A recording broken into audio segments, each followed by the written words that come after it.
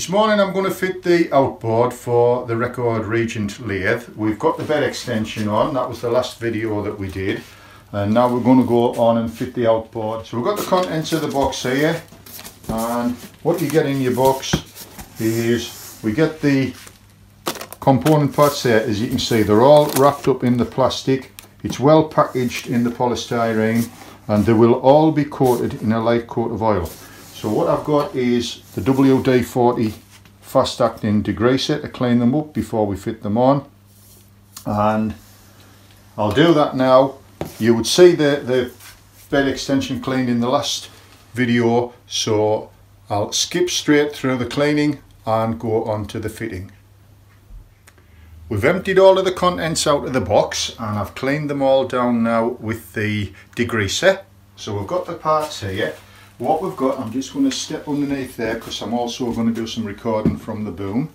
We've got a tool rest here to go with the, the new banjo, just lift that under there. And I brought the head forward to make it easier for fitting. We've got the two lever locks, the M12 lever locks, and then we've got the lever lock for the actual tool rest on the banjo. We've got the bar to go through onto the banjo with the washers and we've got the banjo here we've got the extender bar there and we've got the main frame the H frame which has an H section in there to go down onto the slides when we fit it also what we've got we've got two M10 bolts and I've got the spring washers and single washers on there so I'm going to screw these into here and then we'll slide this component part onto the end of the lathe so I'm just going to put these M10 bolts into there and just turn them by hand. This one into here, I'll, I'll use this hand so that I'm not covering up the camera. So the, as you can see, they're going nicely and easily into there. We've got the sprung washer and the ordinary washer. We'll wind that into there and then what I'll do is I'll test it, see that it fits and we'll try it onto here to see if we can get that through there and yeah that slides on nicely you can see I've got a gap there of around about 10 to 12 mil I'll bring that up flush and tighten up the bolts by hand and then we'll go on to the next stage I tightened up the nuts by hand and then I nipped them up with the spanner that's supplied actually with the accessories and I did have a little helper with me. I've just put my gloves back on again these black gloves because they're good for grip to hold that because what I want to do is slot that M12 bolt through there onto there hold that and then I'm going to press that with my thumb. I've got the lever to go underneath so it's a matter of popping the the washer onto there. Again you're holding it both hands there and then screw that on to the washer. That's it. Thread onto there. I'll just grab hold of this with my hand at the top there. We're pulling down into the recess for the nut on the boat the head of the boat there we are it's locked tight into there. So that's nice and tight on there. Then what you need to do is take the other washer and this black bar. That's it. It's another M12 with the section on there. So we can just pop that underneath there again. I'll hold that in. You've got to stretch your fingers for this one and then I need the, the lever lock there again I'll get down here and start that off there there we are just wind that around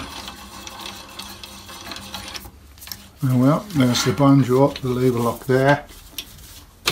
Oh, that's it. It's on a spring that so you can move it. There we are. And there is the banjo secured. So going to move the banjo around like that into that position and we'll put the tool rest in. Okay, that's the outboard, that's the main section fitted to the end of the lathe. And then the section that we can use, we can move that round there on the outrigger just to give us our maximum size and our maximum diameter. And if you look on the specs, the spec says that it'll do a maximum diameter of a metre or 39 inches, which is huge. And but the will take it, especially with the weight and the horsepower of the motor. So I am going to do a platter on here or maybe a wall sculpture so we'll do something that's uh, that's different and we'll be able to have the the box here positioned in a safe place for when we do the turning for the variable speed we've got the banjo fitted onto here. And again the lever locks there dead easy to move around and put wherever you want to put it just lock it into position. You don't have to over tighten, the, the engineering is superb so you just have to nip it up. So we've got the tool rest just to go into there and that, there we go, into there, we've got that well, put it into the right position. And we've got another lever lock just to go into here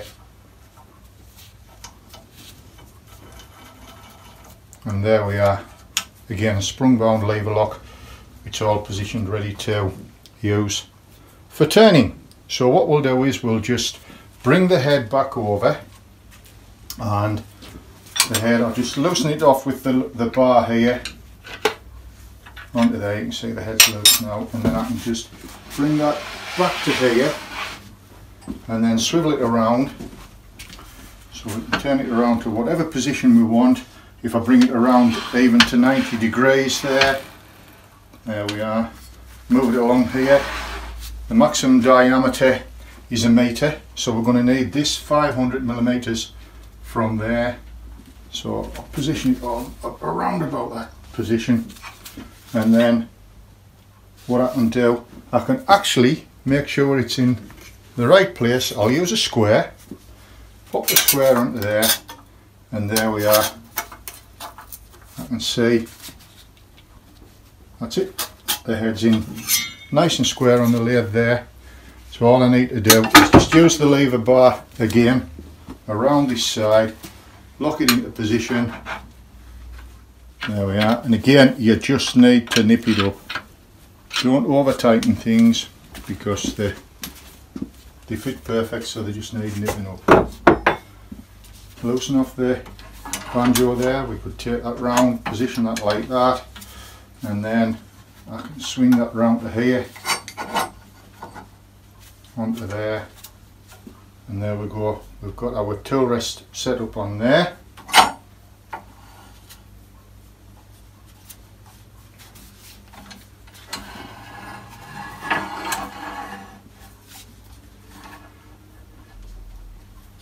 That's into whatever position we want and if I lift the rest up to about centre height there, six mil below the centre is generally where I like it. I'll take the step centre out. So that's the outboard fitted. I've moved the head along the bed and I've popped the SC4 chuck on just to let you see the chuck and the position of the outboard. This is very movable, you can move it around wherever you want it. You can get it into whatever position you like. Just nip it up with the locking lever turn the tool rest around to there. That's your tool rest your your bowl turning tool rest or your large tool rest for the platters as well. This could be used with the bowls take that off and I can pop the standard tool rest into there and pop that onto there which is ideal. But of course when not in use what I'll do is I'll just fold it away can you see I've got the controls with the magnet on top of here as well? So we can set it away while we're working and just unlock the stop set it away on there and you can see the lathe purring like a kitten. So looking forward to turning a lovely big platter or a big wall sculpture and uh, we'll put it through its paces. So I'll just show you how we can put it away to one side when I'm not using it and I'll take the tool rest out of here. I'm going to put the controls back on the side of the lathe there. Then what we can do is just loosen the lever lock off there. I can loosen the banjo and actually I'll tighten that lever lock off lever lock on there while I loosen the banjo. Pull the banjo around to there and then tighten that. Bring it down with a spring so as it's out of the road. Loosen that off here. Swing it round there. And there we are. It's in a secure position. Let's have a look. That's it. Tightened up on there. Push that into there. Tighten that up onto there. Levers are out of the road. Everything's out of the road there. I could even if I wanted to loosen that off and bring this round. Take it farther round. That way move it over to there then it's out of the road and there we are I've got that away from there what I might do I might make a little table or something that'll just sit on here that I could put some tools on while I'm working so I'm just going to swivel the head back onto here, swivel it round to here again. You see how easy it is. Bring it back to there. Now, if I want it to go right the way back, what I'll have to do, I'll have to remember I need to bring the banjo around here so that that is not in the road of the mortar.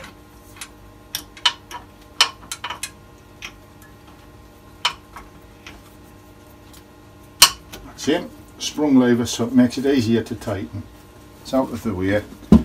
Back to there. Take it to its maximum there and then line it up. You can line up on the bed there. What I will do is I'll do the kiss test when I bring the tailstock up and I'll actually show you how to do the kiss test now. I'll just tighten that up to there.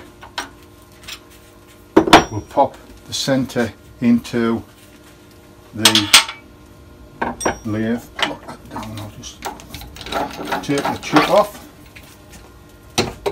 and then we can pop the centre in there, get the tailstock centre, I'll move the banjo up to here,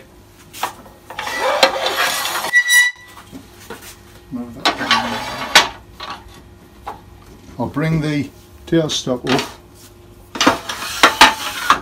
Pop the centre into there, wind on the quill until it engages and then wind it on. And if you look on here if you look at that point there can you see that point is just slightly out if we, if we put the camera right above over the top of it you can see that the point is just slightly out so what I'll do is loosen the head